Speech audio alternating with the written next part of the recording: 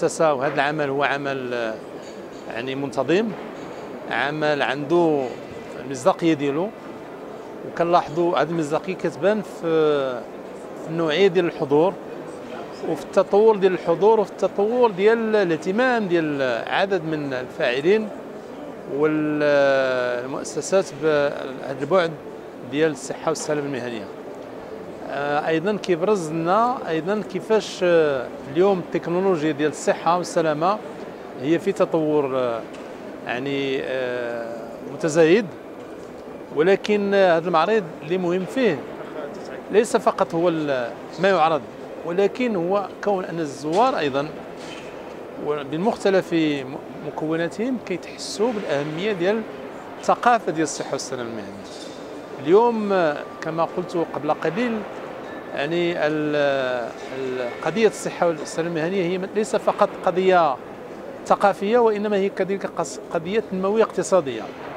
لا بد من الاستثمار في هذا المشروع ديال الصحة والسلامه المهنية لأنه عنده عائد لأن أي ضرر يقع آه، للأفراد وللمنظومات هذا أثر يعني كيكون عنده واحد الكلفة اقتصادية على المقاولة على المجتمع على الأسر على الدولة على المؤمنين سواء كانوا خصوصيين أو كانوا عموميين. فبالتالي كلما استثمرنا في الصحة والسلامة المهنية بالإعلام بالتحسيس بالتكنولوجيات بتطوير الآليات ليس فقط تطوير الآليات ديال والتكنولوجيات أيضا ديال الصحة والسلامة المهنية كلما آه، تقدمنا اقتصاديا.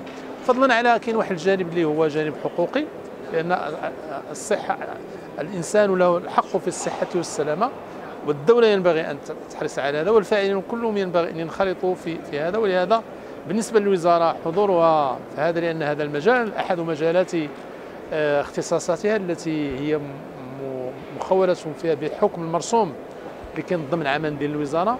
عندنا واحد المديرية ديال الصحة والسلامة كاين واحد المعاد ديال ظروف الصحة والسلامه المهنيه ديال الوزارة مجلسه الإداري و آه، كلمة أخيرة شكر كلمة أخيرة كلمة أخيرة هي أنه الصحة والسلامه المهنيه عمل الجميع.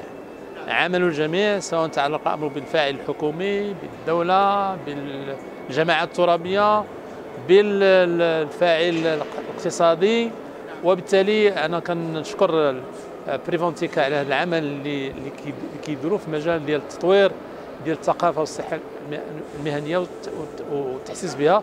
ولا شك أن انعقاد هذا المعرض السادس لهذا نفس الموضوع كيدل على أن هذه تجربه ناجحة. وحنا إن شاء الله غنبقاو دائما يعني آه، يعني كنقدروا العمل اللي كتقوم به الوزارة. وحنا عندنا مشروع يعني ديال البرنامج الوطني للصحة والسلامة غادي نحاولوا نشاركوا فيه جميع الفاعلين الاقتصاديين. وإن شاء الله منهم بريفونتيكا